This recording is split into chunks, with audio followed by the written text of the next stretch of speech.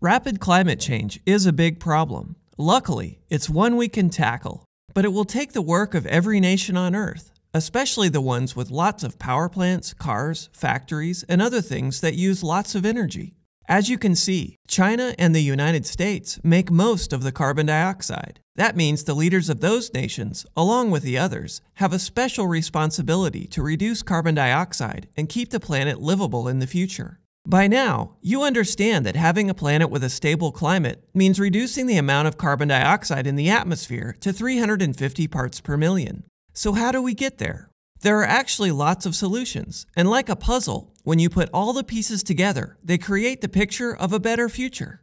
Let's start with the biggest source of carbon dioxide burning fossil fuels to create energy for homes, buildings, and factories. Instead of burning coal, oil, and gas to make energy, we can start using more sources of power that don't release carbon dioxide, things like solar and wind power. Our cars and trucks are another big source of carbon dioxide. Using vehicles that run on electricity and fuels that make less carbon dioxide is an important step. Investing in more public transportation, subways, trains, and buses would also reduce the amount of gasoline people burn.